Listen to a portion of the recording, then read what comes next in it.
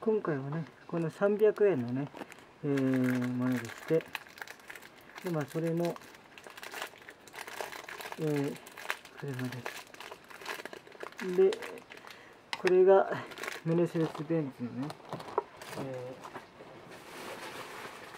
ー、G クラスの、えー、ステーションワゴンに。で、えー、この車はスポーティーなスタイリングに広い室内空間と優れた実用性を高次元で統合させた新しいコンセプトの多目的コンパクト化メルセデス・ベンツ B クラス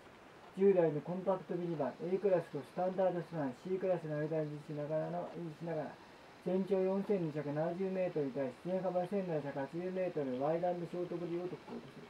エンジンはトランスミッションの一部を普段に下に押さない優れたショート断税性でスペースコールと両立したメルセデスの独自のボディコード、サンドイッチコンエンジン、オートこれを組み合わせてまた B200 ターボに搭載のインタークーラー付き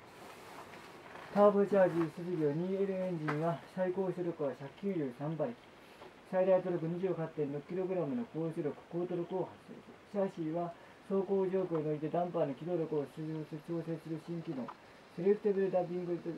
システムを備えたフロントサスペンションと乗客ニーズは乗車事情に変わる車体の塗装フォームのためリアサスペンション。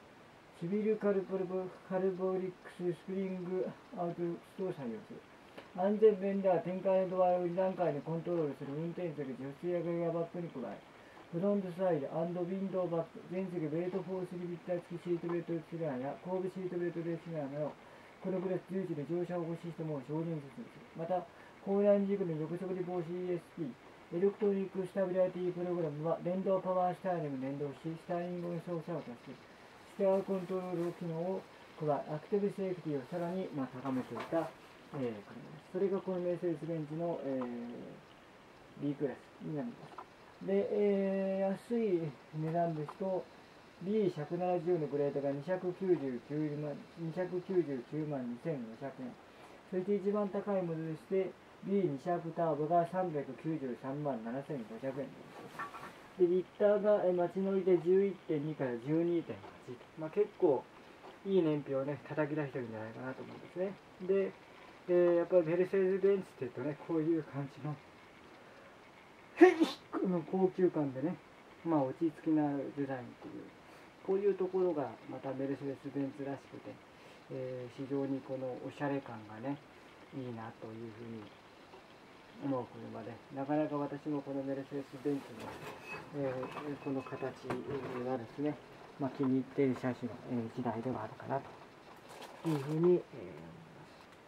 ー、なかなかの、素晴らしい出来具合とあのメルセデス・ベンツのねこの特徴的なところがまたいいなと感じますね。で内装も非常に豪華です落ち着いたどっしりとした感があって。このメイセレスのベンツがこの形はね決して悪くない、えー、形だなというふうにね思ってなかなかこの色合いもねこう大人のこう雰囲気を出してるというかまあそういった気品のある雰囲気っていうか上品な雰囲気というものをま出し出されてるのでまあそういったところがね非常にいいなっていう感じでございます。どうもありがとう